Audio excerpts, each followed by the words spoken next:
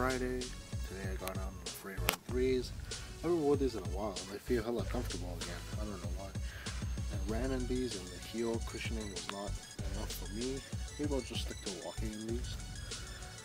But this is sky blue and Volt colorway I believe. This originally came with white laces I think. Or blue, I don't remember. I just lace swapped them a long time ago. Here's the free run three.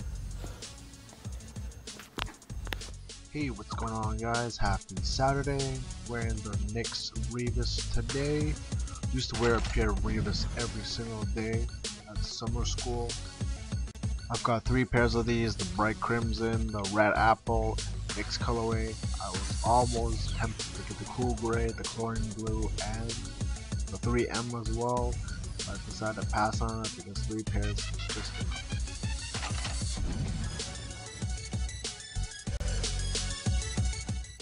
Decide what to wear today.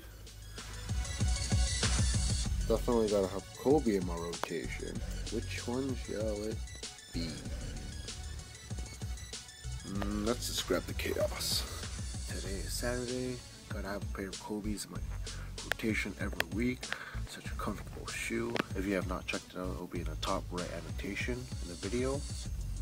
This is the Chaos inspired colorway if you have not seen it yet. Still can't really decide how to wear the laces, whether like normally or tucked in like that.